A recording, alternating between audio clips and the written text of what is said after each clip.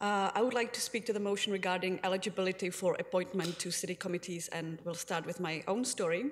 I moved to Kingston from the Czech Republic five, five years ago to join my German husband, who studied at uh, Queen's, a PhD program. Uh, I myself have two degrees in law from a Czech and an English university. I have worked in human rights as a government official and as a member of an international NGO based in Europe. While I was looking for a job in Kingston, it occurred to me to serve on a city committee. Uh, here was an opportunity to share my expertise, to volunteer, meet people, and network. In short, I wanted to get involved in my community, my new home. It was at uh, an annual city committee recruitment event at Memorial Hall, where I learned that I'm not eligible to serve on any of the committees because I'm not a Canadian citizen. At the end of the meeting, I asked what the reason was for the eligibility condition, and do you know what the answer was? Silence. Nobody had the answer. Around the world, cities are on the front lines of immigrant integration because they understand that the lived experiences of settlement is intensely local. A growing number of Canadian cities are realizing that immigration is not exclusive to the federal and provincial jurisdictions, but that success or failure of immigrant integration has a significant impact at the municipal level. It is essential for our local democratic processes to be inclusive of the diversity of our community. As Canada's demographics change and we rely more on immigration to grow the labor force and population, we must open spaces for immigrant voices to help inform municipal committees and decision making. The website of the City of Kingston says the city encourages and enjoys committee participation by interested and informed citizens. Imagine how much more beneficial it would be if the city encouraged participation by other residents of Kingston who are not less interested or informed just because they are not Canadian citizens. By engaging immigrants, the city could utilize their expertise and learn about different and innovative ways in which other communities are changing their local infrastructure systems and community health. The benefits for immigrants to serve on municipal committees are obvious. For many newcomers entering the Canadian job market, being able to network with people in their field of interest, occupation, or study is critical to finding employment, and it also deepens their social integration. Uh, the motion that is in front of you tonight, ladies and gentlemen, proposes to amend the bylaw to include permanent residents who have resided in Kingston for at least one year as eligible for appointment to city committees. A permanent resident is someone who has been given permanent resident status by immigrating to Canada, but is not a Canadian citizen. To maintain their status, permanent residents must live in Canada for at least two years in a five year period. Permanent residents have the right to get most social benefits that Canadian citizens receive. They can live, work, or study anywhere in Canada, and they uh, have the right to apply for Canadian citizenship. They are not allowed to vote or run for a political office and to hold some jobs that need a high level security clearance. Lastly, I would like to make a reference to two important local strategic documents that speak to advancing greater inclusion of newcomers. Both the Sustainable Kingston Plan and the Kingston Immigration Strategy were developed in 2010 with the participation of um, representatives from the city of Kingston and many other stakeholders. As you can see, on the screen, these documents identify a number of goals and actions that promote this idea. Mr. Mayor, councillors, tonight you have the opportunity to change the bylaw. Leadership is about change. It is not about preserving the status quo when that works against the best interests of the city. Leadership is about seizing new opportunities to allow our community and its residents to thrive. Thank you for your attention. Thank you. Um, if you just, um, just before you go, are there any questions for the delegation? Okay, seeing none, thanks very much.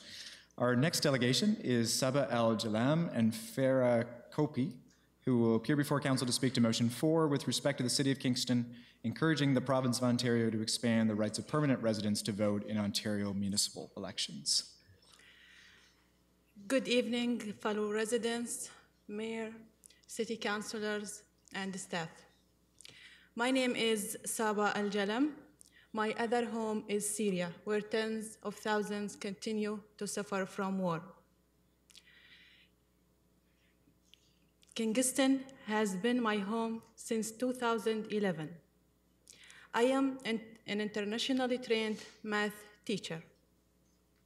Immigrants are the lifeblood of Canada labor force.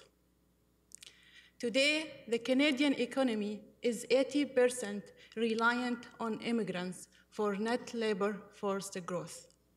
In a very short time, we will not only be the sole source of labor force growth, but also population growth.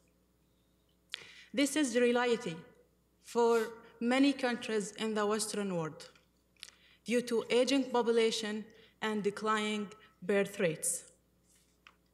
Kingston welcomes nearly 800 permanent immigrants each year.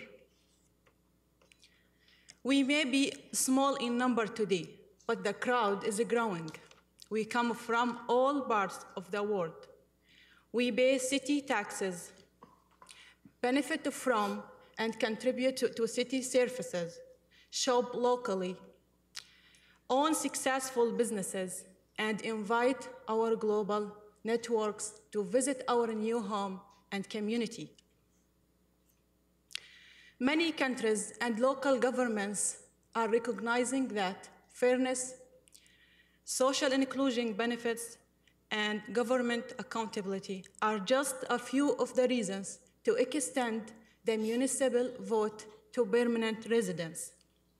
Your fact sheet lists the 40 countries that have done this. Kingston would also join with the cities of Toronto, of Toronto, Kitchener, North Bay, Guelph, Halifax, and St. John, all of which are advocating for provincial governments to expand the municipal, to expand the rights of permanent residents to vote in municipal elections.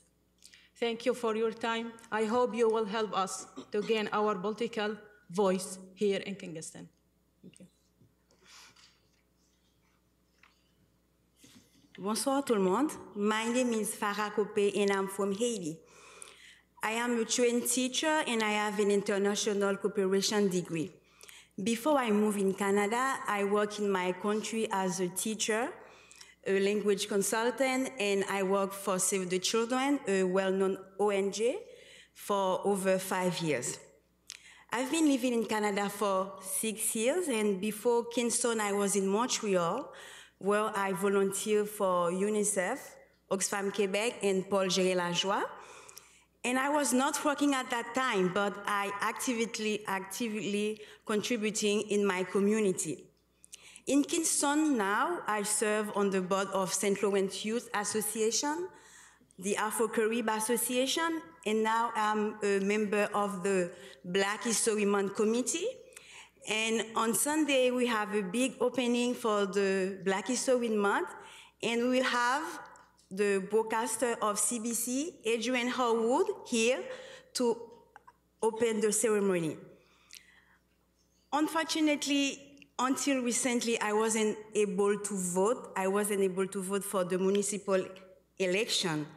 I could not put my ex near one of your names here, though I would like to do it, but I couldn't.